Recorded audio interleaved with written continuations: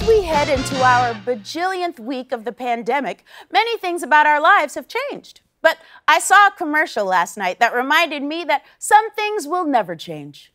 Take a look. In these uncertain times, it seems like the world is upside down. Sheltering in place, closed schools, social distancing, how are we supposed to cope? Well, just know that even though most things have changed, one thing remains the same racism. Racism will always be here for you. Racism. It's like a hug from an old friend who's on fire. And right when you start worrying about something new, your old friend racism says, Not right now, bud. There's a new racist event to let totally consume you.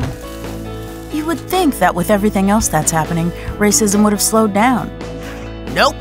So take comfort in the fact that some things never change. They just get stronger and stronger till they kill you.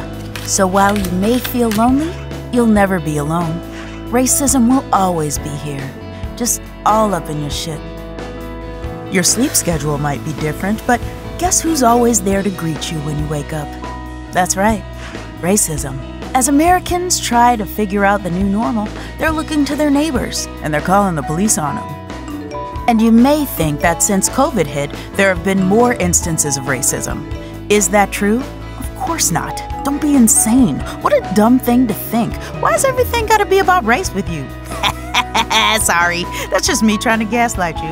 You know how racism do, girl.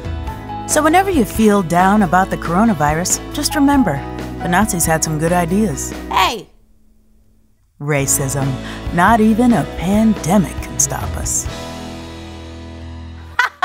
that was fun and true.